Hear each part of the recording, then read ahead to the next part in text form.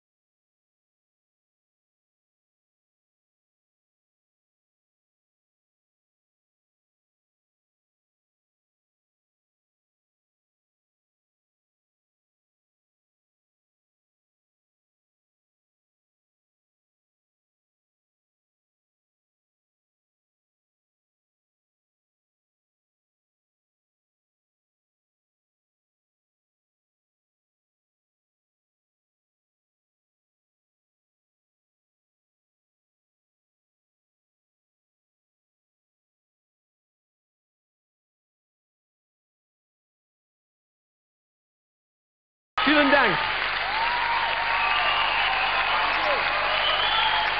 Dankeschön.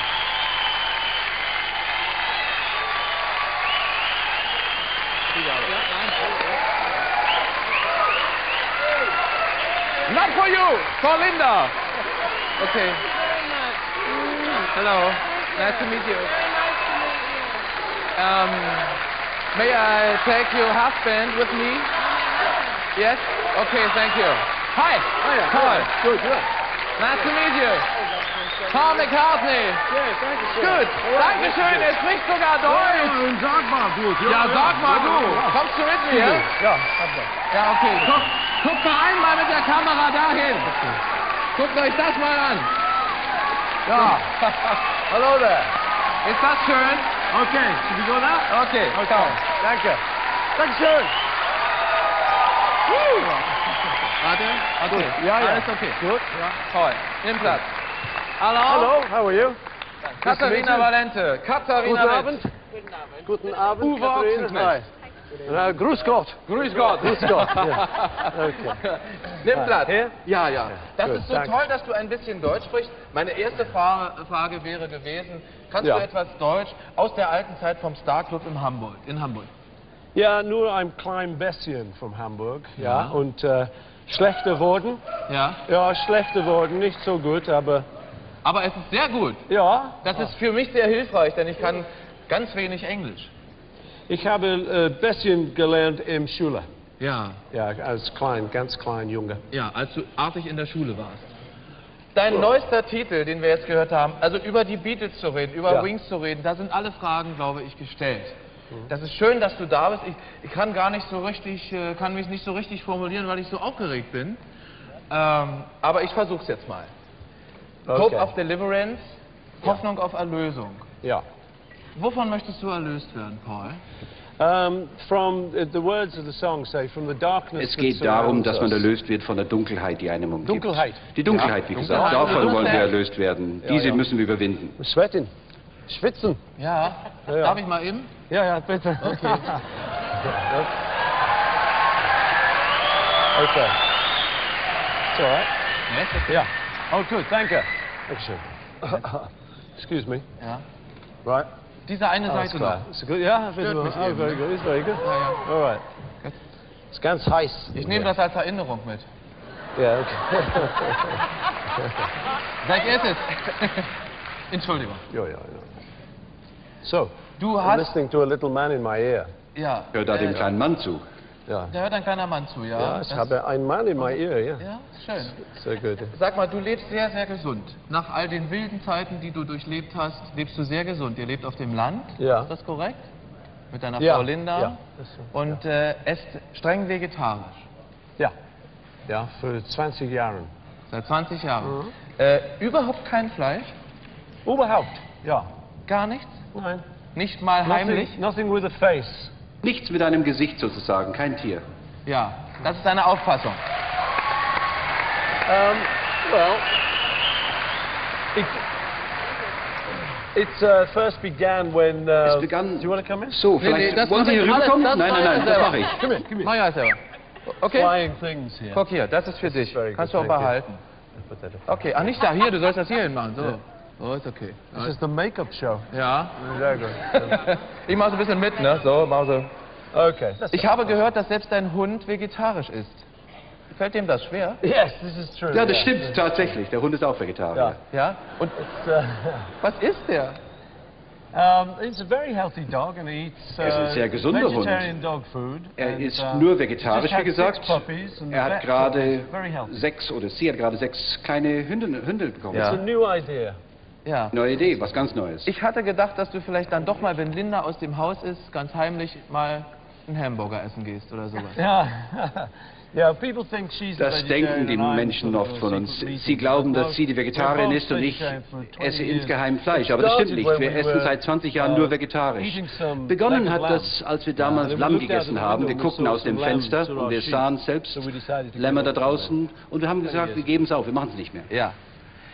Ähm, diese eine Frage, die ich zum Thema Beatles stellen möchte. Es gibt ein Gerücht, in Amerika soll es eine TV-Serie geben, in der die Beatles wieder auftreten sollen. Ja. Julian wird seinen Vater dort vertreten, so sagt man zumindest.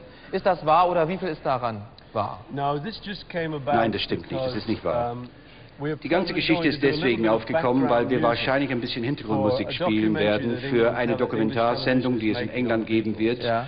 Über die Beatles im Fernsehen. Wir werden also wahrscheinlich hier ein bisschen Musik spielen zusammen. Wir gehen aber nicht auf Tournee, gar nichts. Aber wir spielen vielleicht wieder zusammen mal für diese Sendung. Und das Ganze ist ein bisschen aufgebauscht worden. Es ist keine echte Reunion. Es Nur ist ein ganz klein. bisschen wahr wie an allen Gerüchten und äh, alle Fans Ja. können etwas hoffen vielleicht. Ja. Ein kleines bisschen hoffen. Yes, but we don't really want Ja, to, richtig. Aber wir wollen die Beatles nicht irgendwie uh, wieder ins Leben rufen. Das kann man gar nicht mehr wiederholen. Aber ein bisschen Ja. Musik zusammenspielen Eure wäre schön. Titel sind in alle Welt gegangen. Ich glaube, Hey Jude ist hu- 1500 Mal äh, gecovert worden. Äh, wie erklärst du dir das, dass, wenn man heute Hits hört, dass die meist von Leuten sind eurer Generation? Um, I don't really explain it, you know, I'm Ich just kann es eigentlich gar nicht happy that, erklären. uh, Ich our bin nur music glücklich, still dass unsere. Musik noch so erfolgreich ist, dass unsere Musik noch überlebt, the auch people of my heutzutage noch beliebt generation ist. Die Leute von more meiner Generation waren vielleicht etwas versierter, sie haben mehr Praxis uh, dabei, I sie haben mehr Erfahrung, wenn es um the die Musik geht. Aber das, was die Jungen machen, das gefällt mir auch. Ja, ja, ja, klar. Aber es hat natürlich mit dem Ursprung, die Melodien sind eigentlich wahrscheinlich nicht so einfach zu erfinden. Well, you know, we think that now. Maybe Das denken 20 wir vielleicht heute, ja, aber we'll in think 20 Jahren denken wir vielleicht anders, wer weiß. I think a lot of good songwriters are around. Ich glaube, now, dass es uh, recht gute Songwriter gibt, recht good. gute Komponisten. Sie sind vielleicht genauso gut wie wir. Ja, du bist gerade dabei, dich darum zu kümmern. Du bist gerade dabei, ein internationales, ich nenne das mal Pop-Institut zu gründen. Kannst du das bitte mal erklären? Yeah. Old Ja, gerne. Meine alte Uh, Schule, wo ich früher mal war in Liverpool, da war ich vor einiger Zeit wieder. Ich habe also da einen Besuch the abgestattet. Das ganze. Gebäude ist jetzt nur noch Ruinen sozusagen und ich war ganz traurig. Ich habe deswegen die Idee gehabt, dass man hier eine neue Akademie, eine neue Schule draus macht, eben für junge Künstler.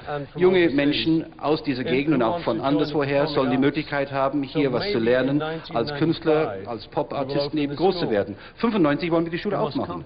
Du musst herkommen. Gerne. Du musst hinkommen. Sehr gerne. Als Ja. Student. Habt ihr das gehört? Vielen Dank. Wird das in Deutschland sein? Gibt es eine Dependance in Deutschland? No, German people will come to Nein, die Deutschen werden zu uns Okay. rüberkommen, nach Liverpool. Katharin wollte sowas ähnliches machen, also wir drücken weiterhin die Daumen. Jetzt kommen wir zur Wette, Paul. Äh, Würdest, yes, yes, Sir. Jawohl. Würden Sie bitte mit mir mitkommen? Ja. Okay. Mann. Ja, Ist gut, wir gehen jetzt hier rüber an einen Geldschrank. Hast du einen, hast du einen Geldschrank zu Hause? ja. Äh, nein, Nein? nein. Was machst du mit deinem Geld? my, my Hast du dabei? Tasche. Ich habe eine Also- Tasche. Kannst du das bitte Hier. halten? Ja, ja. Ähm, das ist ein richtig großer Panzerschrank. Ja. Sowas hast du schon mal gesehen, so ein Riesending. Ja, ja. Jetzt, jetzt möchte ich dir bitte die Wette erklären. Bitte, Ja. Sei bitte so lieb. Genau. Die Wette erklären. Es geht darum, dass drei pfiffige Jungs Ja. dieses Ding öffnen wollen. In sechs Minuten. Das ist nicht schwer. Ja. Jetzt wird's aber schwer. Die wollen das mit einem Gabelstapler tun. Ohne Zuhilfenahme der Hände oder irgendwas mit einem Gabelstapler. Kannst du mir etwas assistieren? Wir, wir machen den erstmal auf. Ja, ja. Wir, wir, wir zeigen mal, wie kompliziert das ist. Das muss, es ist also alles Millimeterarbeit. Man muss jetzt also nach links drehen, einmal 50. Das werde ich jetzt machen. Hoffentlich zitter ich nicht zu. Hörst Schritte. Aha. Mhm. ja. Dreimal 40 nach links, weil wir doch jetzt Gangster sind. Und zweimal 30 nach links. Einmal 30. Pass auf. Und, muss ganz genau stimmen. Und nochmal 30. Diese, all diese Schritte werden die dann nachher, diese drei, mit dem Gabelstapler tun. Jetzt, hoffentlich klappt das. Jetzt öffne ich. Oh, Gott sei Dank. Dann kann man das rausziehen. Würdest du das mal tun, bitte? Ja, what do I do? Einfach rausziehen. Pull it out. Okay, yes. Dann liegt hier ganz zufällig der Schlüssel. Und den stecke ich jetzt hier oben rein. Das ist nämlich auch nochmal kompliziert, den Ja. Schlüssel da rein zu tun. Das ist noch lange nicht offen. Dann steckt man den rein, so, öffnet. Und damit ist dieser Tresor geöffnet. So. Wunderbar. Haben wir schön gemacht. Wir sollten öfter mal einen Tresor knacken. Good, ja, ja. Ja, hat mir Spaß gemacht. So, ich mache das alles wieder richtig zu, nehme den Schlüssel raus. So, mach hier so Dings, Dings, Dings. Paul, was meinst du? Kannst du dir vorstellen, dass das drei junge Männer schaffen, nur zur Hilf mit Hilfe eines Gabelstaplers? Weißt du, was ein Gabelstapler ist? Ja, ja. Ja, Ja? Kennst du. Macht keine schöne Musik, aber Nein, nein.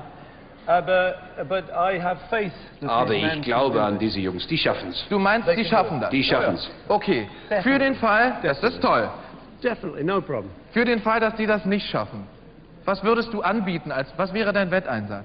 Well, I will do a show in Dann Frankfurt dreht sich in Frankfurt auf, on the 22nd am of 22. Februar, February in the Festhalle. in der Festhalle in Frankfurt. Okay, Alles klar? Und, und wir hoffen das. and we'll invite wir 50 kids, laden asylum 50 seekers. junge Okay, Asylanten 50 ein. Kinder. Umsonst. 50 junge Asylanten. Das werden ist sehr umsonst nobel. eingeladen. Können wir vielleicht uns bitte noch etwas für den Saal einfallen lassen? Geht das, dass man vielleicht irgend noch eine Ja. Möglichkeit findet, dass jemand aus dem Saal äh, auch daran teilnehmen kann? Hä? Wie habe ich das gemacht? Okay. Ja. Paul, denk in Ruhe darüber. Was meinst du? Denk in Ruhe darüber nach, das können wir nachher Ja. machen. Bitte nimm wieder Platz, ich bring dich ein, ein Stückchen. Okay. Findest du den Weg? All right. Alles klar, bis gleich. So, meine sehr verehrten Damen und Herren, Okay. jetzt möchte ich Ihnen meine drei Wettkandidaten vorstellen. René Draber, Thorsten Jellen und Hans-Dieter Windel.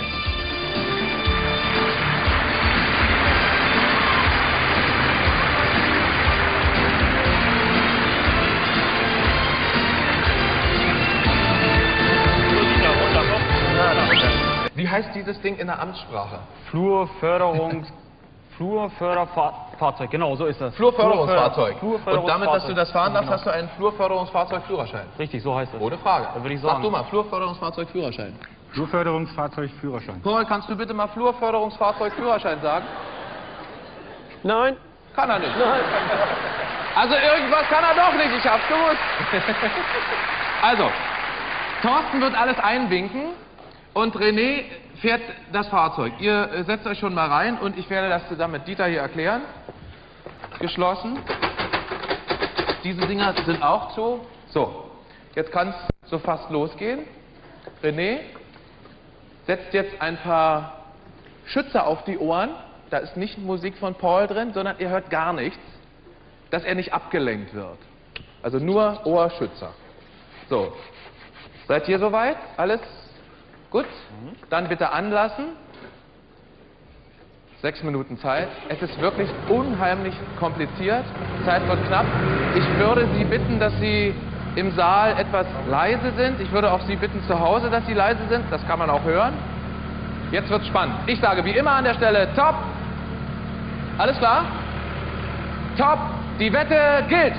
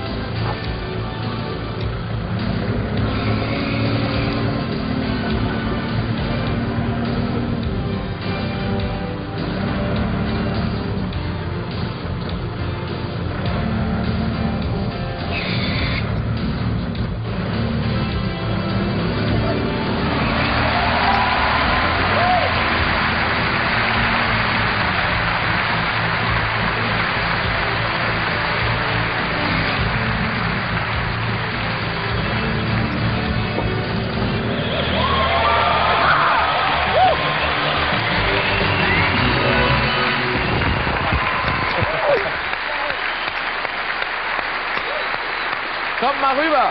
Herzlichen Glückwunsch. Habt ihr toll gemacht. Komm her. Ja, gut. Gut gefahren. Guck, Paul ist begeistert von euch. Dankeschön. Danke sehr. Wir sehen uns nachher wieder zum Schluss der Show. Paul, was sagst du dazu? Die haben das geschafft. That was brilliant. What did I tell Fantastisch, you? brillant, habe ich doch Ja, du gesagt. hast es gesagt. Ja. Was machen wir jetzt mit den Karten und dem Konzert? Schade. Well, I think I better do the concert Ich anyway. glaube, ich gehe trotzdem nach Frankfurt und mache Das finde ich sehr gut. Trotzdem. Äh, wie machen wir das mit den Karten? Yeah. Wir, wir werfen Okay. Bälle in den Saal. What are we going to throw them? Ja. Throw the balls? Go. Komm, Beißen die rein, ja, klar, natürlich. Komm, wir werfen Machen wir Bälle doch. in den Saal. Hoppla. Und wir, da sind... That's yeah, it. Moment. Okay. Okay, cool. Fang du an. Yeah. So. Hey, Hepp. Woo. Uh, Hoppala. Auf diesen Bällen sind Stempel. Darf ich auch einwerfen? You. No, Okay. Yeah, yeah. Guck mal, die gehen ganz woanders hin. Hey, hoppla. Du hast noch einen? Okay. I got two. Okay. Woo. Jetzt mal hier vorne. Oh, guck mal da. Das war ganz gut. So. Noch eine. Der letzte. Super. Woo. So, vielen Dank. Dankeschön. Okay, Thank you for okay, coming. good, good. Thank Thank you you, for being here. Good, Ich yeah. danke sehr. Good fun. Ja, gut, Fan. Ja, ja. Es war schön, dich kennenzulernen. Yeah. Du bist ein sehr netter Mensch. Oh, Auf Wiedersehen. Paul muss jetzt leider zu seinem Flugzeug. Auf Wiedersehen. Yeah. Bis okay. bald. Thank you. Dankeschön. Goodbye. Thank you. Thank you. Mr. Paul McCartney. Goodbye. See ya. Cheers, mate. Cheers. Thank you, Mr. See ya. See ya. Tschüss. See ya. Hey, Cheers, man. Tschüss. Tschüss. Cheers.